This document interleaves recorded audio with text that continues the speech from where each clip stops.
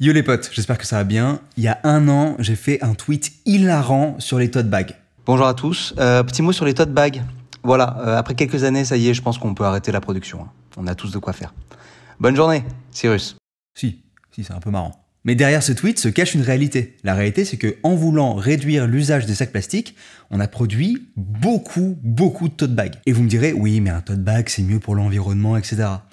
Bah oui et non en fait. Oui parce que ça se dégrade beaucoup mieux dans la nature, et non parce que l'impact d'un seul tote bag équivaut à celui de 150 sacs plastiques, d'après une étude danoise qui nous dit qu'en prenant compte de tous les stades donc de production, distribution, usage et devenir final, les sacs en coton sont de loin les plus polluants. Ça donne un petit peu envie de s'étouffer avec un tote bag. Quand j'ai appris ça, je me suis posé la question de l'efficacité de mes gestes écologiques. À quoi ça sert de se prendre la tête si en fait c'est sur les mauvaises choses? Cette vidéo est d'ailleurs faite en partenariat avec Greenpeace parce que je voulais vous parler d'un projet qu'on a fait ensemble, un projet que je trouve vraiment chouette. On l'a fait sur leur chaîne YouTube et leur compte Instagram. Ça s'appelle Science et Fiction. Je vous mets des liens dans la description et je vous en reparle en fin de vidéo. Alors comment un tote bag peut faire pire qu'un sac plastique hein? Comment il peut être euh, plus polluant et dégrader encore plus l'environnement? Et bien en fait ce dont on parle là, c'est les émissions de gaz à effet de serre. Alors c'est principalement du CO2, mais en vrai il y en a d'autres dont on parle moins, mais qui sont quand même hyper importants. Du coup on parle en CO2e, donc euh, équivalent CO2. Comme ça on a une seule métrique. Ok, alors pourquoi c'est important en gros? Eh bien parce que plus on en rejette, et plus il s'accumule dans l'atmosphère et réchauffe la Terre. Si on regarde ce graphique où chaque carré représente un mois depuis 1900 et que sa couleur représente son écart de température par rapport à la moyenne, on réalise que la température a quand même tendance à bien augmenter. Là, on est actuellement à 1,2 degré de réchauffement et pendant les accords de Paris en 2015, les pays se sont engagés à ne pas dépasser 2 degrés. Parce que le risque après, c'est l'emballement. C'est-à-dire que, je sais pas, la fonte de la banquise, par exemple, qui renvoie quand même une grosse partie des rayons lumineux du soleil, euh, et puis plein d'autres éléments. Je vais pas rentrer dans le détail là maintenant, mais en gros, il faut absolument baisser euh, les émissions de CO2 et les autres gaz, sinon on va vivre euh, comme dans Mad Max. Très très stylé pour un film, à vivre dans la vraie vie, c'est pas mon projet, perso. Et je parle des émissions de CO2 sur notre territoire, mais aussi celles dont on est responsable ailleurs à cause de ce qu'on consomme. En gros, je parle de notre empreinte carbone. Mais pour pouvoir la baisser, cette empreinte carbone, il faut la comprendre.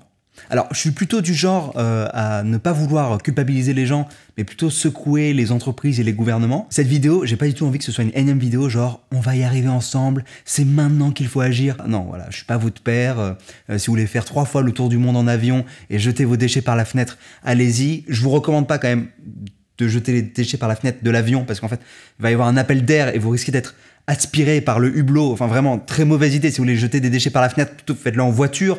Voilà. Bref, en tout cas, je suis pas votre père. Mais je trouvais ça important de savoir, dans notre quotidien, qu'est-ce qui émet du CO2 et à quel point. Et donc voir à quel point on a un comportement qui est écologique ou qui ne l'est pas. Non, parce que ça nous est déjà arrivé en soirée qu'on nous reproche un truc qui n'est pas écologique. Genre moi, on m'a déjà reproché en soirée, par exemple, d'utiliser du sopalin chez moi. Du sopalin. Au lieu d'avoir des serviettes réutilisables, en fait. Ce que je trouve un petit peu idiot, parce que c'est dérisoire par rapport à plein d'autres trucs que je fais, comme par exemple le fait d'être végétarien. Est-ce que je suis en train de répondre en vidéo à quelqu'un qui n'entendra pas ce message et que j'ai pas eu le courage de confronter en soirée? Peut-être, peut-être. Alors les amis, rentrons dans cette magnifique échelle qui est l'échelle du CO2, l'échelle de l'empreinte carbone. Parce que j'ai envie de comparer plusieurs éléments afin de me rendre compte en fait. Alors j'ai voulu commencer par un hommage euh, à mes parents qui pendant des années m'ont demandé d'éteindre la lumière de la salle de bain. Voilà. Alors pour ce premier exemple, je vais vous donner mon calcul, euh, comme ça vous pouvez le reproduire euh, chez vous pour plein de choses, etc. Et de toute manière, pour tous les éléments, je mettrai des sources en description. Donc j'ai pris une ampoule à LED. Au secours, au secours Yes, à LED. À LED. Je suis désolé. J'ai pris une ampoule à LED, euh, c'est les plus fréquentes, euh, voilà, une ampoule à 10 watts, et imaginons qu'elle soit allumée tout le temps, tous les jours, sauf la nuit, en gros. Eh bien ça fait 10 watts fois 16 heures fois 365 jours, ça fait 58 400 Wh, donc 58 kWh. En 2017, en France, 1 kWh, c'était environ 0,074 kg de CO2e. Donc pour l'ampoule de la salle de bain, ça fait 4 kg de CO2e. Vous noterez du coup l'importance de la provenance de l'électricité. Je précise que ce chiffre est bien plus élevé dans d'autres pays. Mais, dans tous les cas, ça reste un coût non nul. Ok, continuons. 4 kg de CO2e, à quoi ça correspond?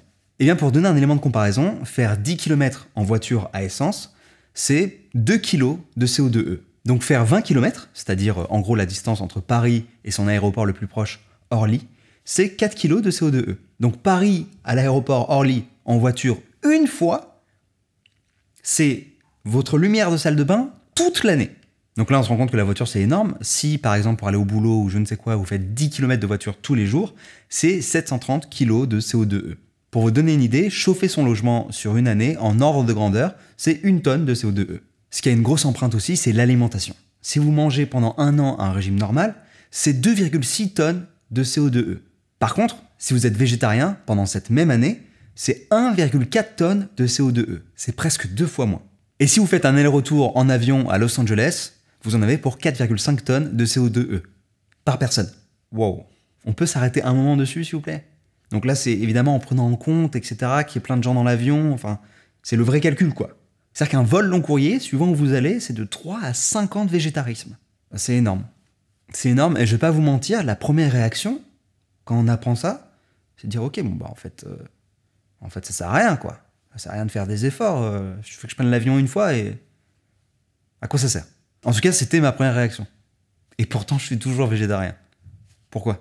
Déjà parce que c'est pas parce que je fais un truc de pas bien que je dois jeter toutes mes bonnes actions à la poubelle. Ce serait une forme, euh, je sais pas, de, facilité, quoi. Une sorte de, flemme, une sorte de déni. Enfin, voilà, c'est, euh, on peut quand même faire la part des choses. Et ensuite, bah, pourquoi je lâche pas mes efforts? Bah, Tout simplement parce qu'on n'a pas le choix, en fait on est obligé de baisser nos émissions de carbone, notamment si on veut respecter les accords de Paris comme dit plus haut. Alors, est-ce que tout repose sur des individus comme vous et moi? Bah, Évidemment non. Il y a une étude de Carbone 4, qui est un cabinet de conseil indépendant sur le carbone, qui nous dit que si on prend euh, les éco-gestes classiques, c'est-à-dire faire du vélo, consommer local, prendre moins l'avion, manger moins de viande, etc., donc ce qu'ils ont appelé un changement réaliste de comportement, eh ben on arriverait à baisser notre empreinte individuelle de 10%. Et si on rajoute à ça des investissements, là aussi considérés comme réalistes, c'est-à-dire euh, des investissements pour euh, l'isolation thermique ou le changement de la chaudière, ce genre de choses, on arrive de nouveau à faire baisser notre empreinte de 10%. Donc ça fait 20% en tout. je précise que dans le modèle héroïque, où là euh, tout le monde est végétarien, on prend plus l'avion, etc., on baisse notre empreinte individuelle de 45%. Mais restons sur le réaliste, puisque comme son nom l'indique, c'est le plus réaliste. Pour respecter les accords de Paris, il faut qu'on ait une baisse individuelle de 80%. Donc ces 20% sur les 80%, bah, je trouve ça intéressant. Parce qu'en fait, c'est un quart. Pile. Et un quart, ce qui me plaît là-dedans, c'est que bah, c'est pas suffisant, clairement. Mais c'est assez important pour qu'on puisse pas s'en passer, en fait. Rien que le fait d'être végétarien, ça représente à lui tout seul 10% de la baisse totale. Donc ça doit pas être décourageant. Au contraire, on se rend compte qu'avec plein de petites choses mises ensemble, on peut faire baisser de 20% le total de notre empreinte individuelle. Et pour le reste, il faut faire pression sur le collectif. Mais je trouvais ça important de vous partager quelques ordres de grandeur en fait. Parce que la clé de ce combat, comme dans beaucoup de combats d'ailleurs, c'est l'information. Si on est bien informé, on va pouvoir prendre les bonnes décisions et arrêter de produire par exemple des milliers de tote bags quoi. Arrêtez avec les tote bags, s'il vous plaît. Par exemple, en faisant cette vidéo, je me suis rendu compte d'un truc que je pouvais faire hyper simplement et qui réduirait drastiquement mon empreinte carbone, bah c'est juste arrêter de me brosser les dents. C'est totalement faux. Non, c'est juste, je me suis rendu compte que je pouvais juste changer mon fournisseur d'électricité ou changer ma banque, passer vers une banque plus verte. Voilà, c'est quelque chose qui prend juste euh, quelques heures en termes d'administratif et qui a ensuite un impact sur des années. Mon père habite à Los Angeles. Je ne vais pas arrêter d'aller à Los Angeles. Par contre, je vais peut-être y aller moins souvent et quand je vais y aller, rester plus longtemps. C'est juste prendre des décisions de bon sens en fait, avec les bonnes informations.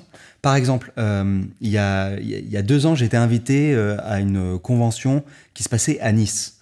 et ils m'ont invité en avion.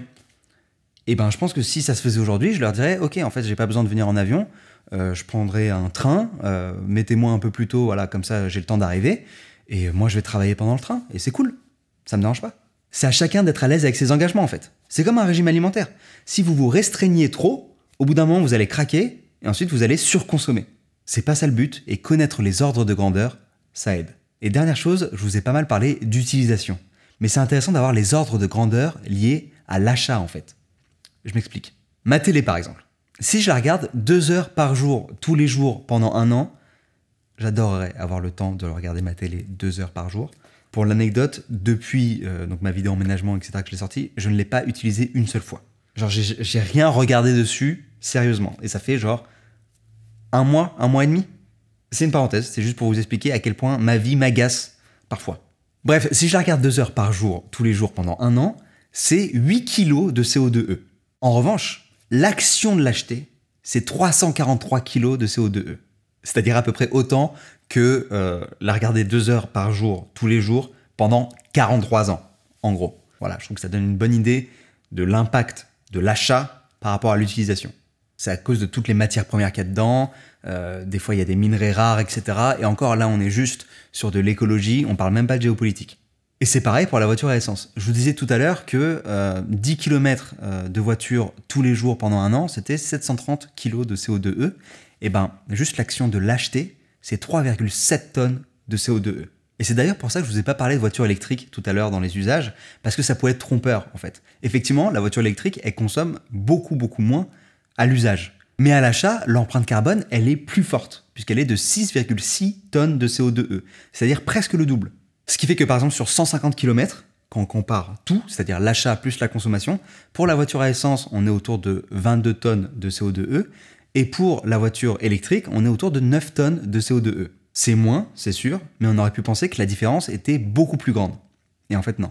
Et c'est pareil pour pas mal d'éléments du quotidien et pas que dans le multimédia. Genre par exemple, si je devais racheter ma garde-robe de 50 kg, eh ben c'est une tonne de CO2e.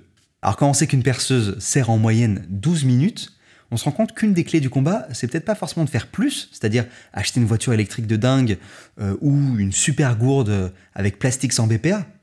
Non, c'est peut-être juste de faire moins en fait. Pour l'anecdote, au niveau du sopalin, j'ai pas trouvé de source fiable. J'ai trouvé plusieurs sources pas fiables qui tombaient toutes sur à peu près 15 grammes de CO2e par rouleau. Donc avec ma consommation, c'est en gros 2 kg de CO2e par an. Donc oui, effectivement, c'est dérisoire. Mais en même temps, qu'est-ce que ça me coûte de le remplacer par des torchons qui traînent, un vieux t-shirt, des serviettes réutilisables Bah pas grand-chose quoi.